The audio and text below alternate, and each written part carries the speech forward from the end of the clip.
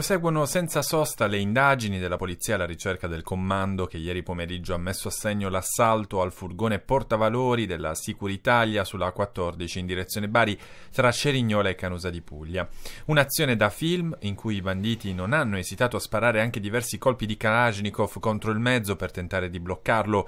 Il comando ha cosparso l'asfalto di Chiodi e bloccato l'autostrada con almeno un paio di auto incendiate.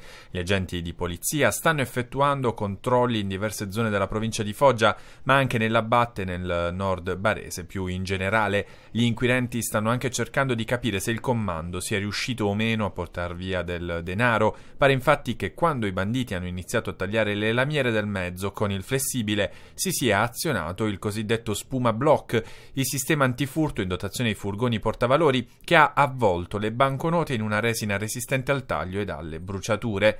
Così i banditi sono stati di fatto costretti a fuggire. Non è escluso quindi che il comando sia fuggito senza alcun bottino o con davvero, dicono gli inquirenti, pochi spiccioli. L'assalto di ieri è stato messo a segno nello stesso luogo dove il 24 luglio scorso altri banditi cercarono di rapinare un furgone portavalori. In quella occasione i banditi bloccarono il tratto di autostrada con mezzi pesanti e un escavatore, ma anche in quella circostanza il colpo fallì poiché il blindato pochi minuti prima della partenza decise di cambiare tragitto. Gli inquirenti non escludono che possa essere stato anche lo stesso comando a provare questo nuovo assalto.